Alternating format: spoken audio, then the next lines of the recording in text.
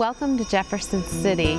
I'm sitting in the House chamber in the Missouri House of Representatives in the General Assembly in the Capitol and I wanted to give you an update about the first month of session. Our session, as you know, goes from January until the third week of May. So now in the first week of February, we've completed more than 20% of our legislative session. We had a very exciting January this year as we welcomed a new governor as well as a new president and we formed uh, committees. I serve on three committees that I've been on in the past, Budget, Ways and Means, Appropriations for Economic Development and Transportation, as well as a new committee, Energy and Environment, and I'm looking forward to participating on that new committee uh, given the high priority that energy issues are placing both on our state and national agenda.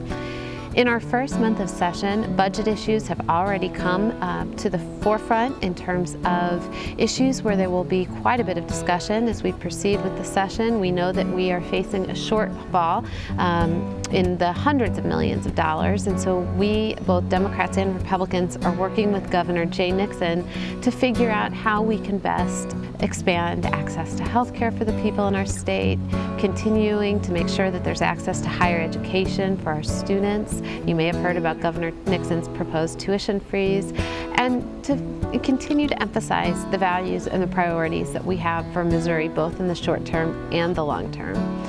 Today we are debating an economic development package. I'm pleased that some language that I've been working on for the last two years related to research and development and biotechnology is currently in the economic development package. We'll see how things go this afternoon. It's always tense debate when big issues come up.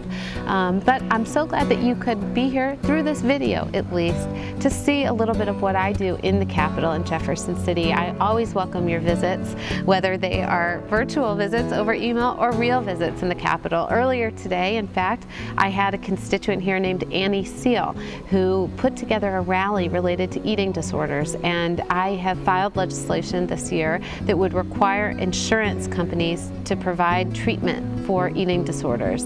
And uh, it was great to have Annie and other experts come to Jefferson City to help raise awareness about eating disorders and uh, steps that the, legislation, the legislature can take um, to make sure that victims of of eating disorders receive the appropriate treatment.